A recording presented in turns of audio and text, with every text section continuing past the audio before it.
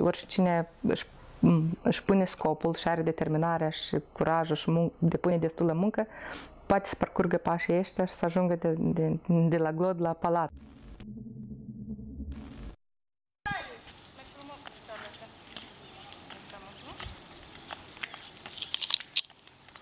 Sunt în Marea Britanie deja de 12 ani de zile, activez, trăiesc deja acolo, însă vin des în Moldova.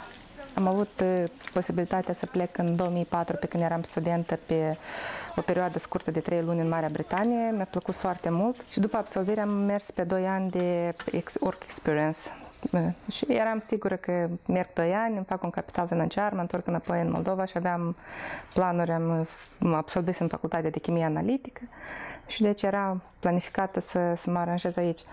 Însă mi-am întâlnit soțul și deja am rămas acolo, însă mă trăgea foarte mult la Moldova.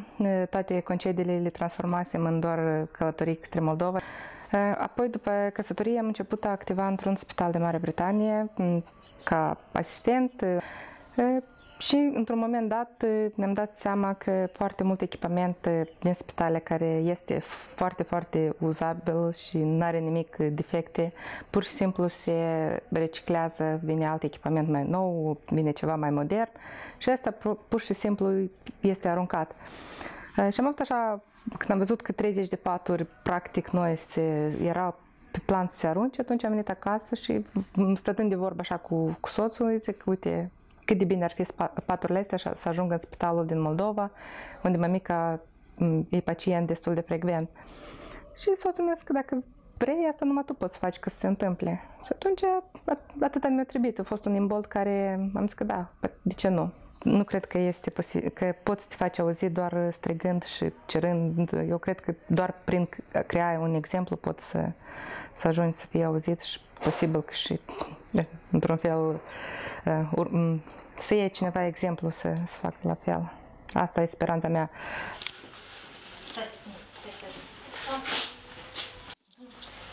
Așa, unu. De mult am fost soțul și de dar eu n-am nimic. Tu ai emoții față de Nu, dumneavoastră nu, nu. doi. Așa, hai. Nu Liniștit. Trei. Ia ca așa. Vezi dacă că te liniștiți, duci piciorul, tu și liniștit cu vă, te schimbăm piciorul.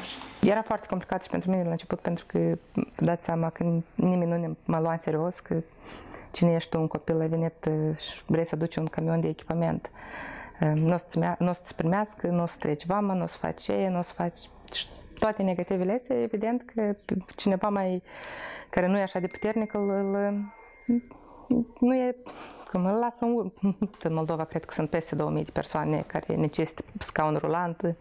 Iarăși eu eram naivă și credeam că în 2-3 ani o să reușim să aducem scaun la toți, însă e, e foarte drastic când te sună cineva care a primit un scaun rulant 2 ani în urmă și spun că deja roțile se defectează și au nevoie de altul. Deci eu cred că asta iarăși e un sac fără fund. Statul niciodată n-a procurat un scaun. Au fost și mulți oameni care au pus piedici, dar au fost și foarte mulți oameni care au susținut, au împărtășit și ne-au ajutat.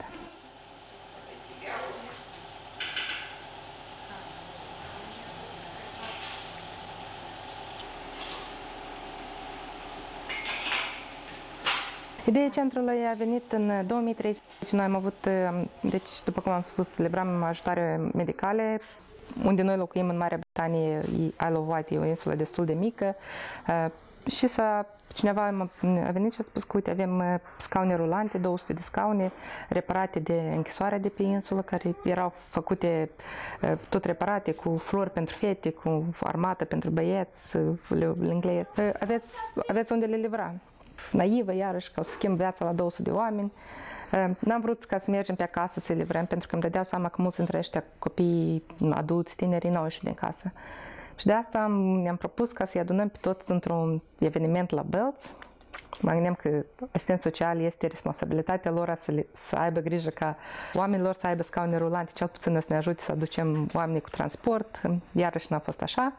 Am reușit, am reușit până la urmă să aducem 70 undeva, în copii și tineri și adulți. Am văzut copiii ăștia care au venit timizi, tăriți în spate, au venit cineva, l-a adus, l-a adus pe fratele în sac așa în spate, era ceva groasnic. Și vedem copiii ăștia atâta potențial în ei și ei nu ieșeau din casă. Ok, noi le-am dat un scaun rulant, ei o să iasă afară, poate cineva o să-i meargă cu ei până la piață undeva, dar ei nu ieșeau din casă, ei erau în Cluj, pur și simplu izolați. Și nu din cauza că ei nu-s deștepți, nu din cauza că nu aveau capacități, pur și simplu că nu aveau un scaun rulant și nu era un, un loc unde să meargă. Și atunci noi ne-am propus proiectul ăsta grandios, că hai să facem un centru unde noi nu numai într-o zi să-i aducem pe toți copiii ăștia, ca ei să vadă.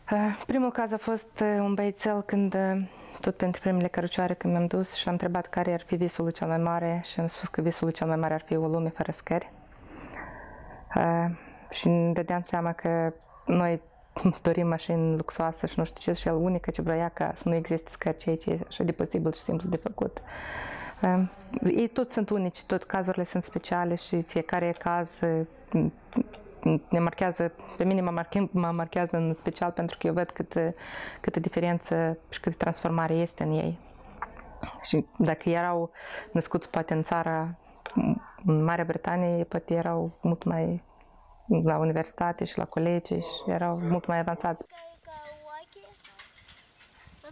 Este păcat că foarte mulți uh, și-au deschis, au fost mai deschiși la colaborare după ce am primit medalia de Marea Britanie, uh, ceea ce nu știu, pentru mine a fost un paradox, pentru că de fapt nu era importantă și nu este importantă, dar important este centru, este, sunt proiectele. Am fost la Ministerul Protecției Muncii când mi-a spus cineva care, eu am început a plânge, că mi-a spus că ce bagi bani în copiii ăștia care oricum nu au viitor.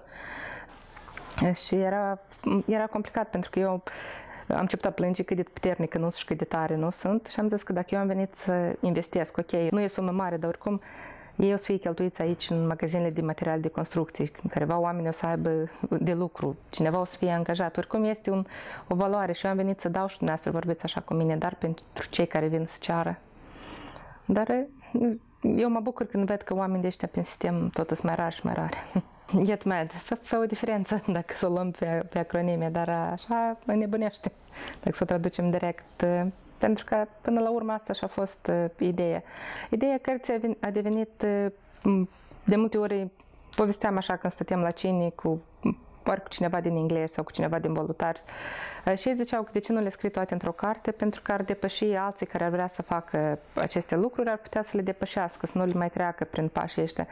Și asta a fost ideea cărții, că, că haide să scriu pașii, că poate cineva totuși vrea să copie. Și oricine își își pune scopul și are determinarea și curajul și mun- depune destulă muncă, poate să parcurgă pașii ăștia și să ajungă de, de, de la glod la palat. Alexandru, de fapt, a fost inițiativa, primul cărucior care l-a primit de la noi. El a fost acela care s-a uitat la John și a zis că mulțumesc că văd copaci, nu doar frunzele de pe geam.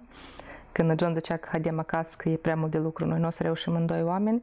Atunci când Alexandru i-a spus vorbele astea, el a zis că noi avem o alegere, el nu are de asta hai să-l ajutăm pe el și pe cineva ca el, măcar cât o să putem.